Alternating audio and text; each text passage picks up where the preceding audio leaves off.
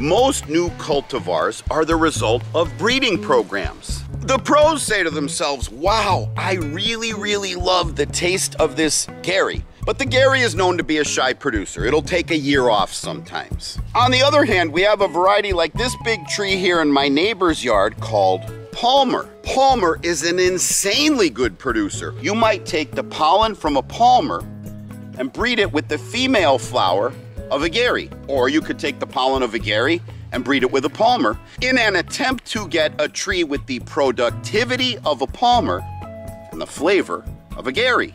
The breeder hopes that some or many of those female flowers will become fertilized and actually produce mangoes. And eventually, you'll get your mangoes. Now, the fruit remains unchanged. This tree will produce Gary mangoes, and these Gary mangoes will taste like Gary mangoes no matter who the pollinator was, or the pollinizer, I guess is the terminology.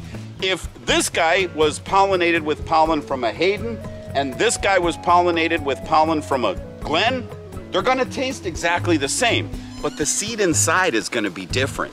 In fact, even if both of these mangoes got their pollen from the same variety, even the same tree, even the same flower, the seeds inside are going to be genetically different. They are hoping that out of the dozens or even hundreds of seeds they planted that were a crossbreed of two varieties that they're trying to breed together, they are hoping that at least one of them will taste good.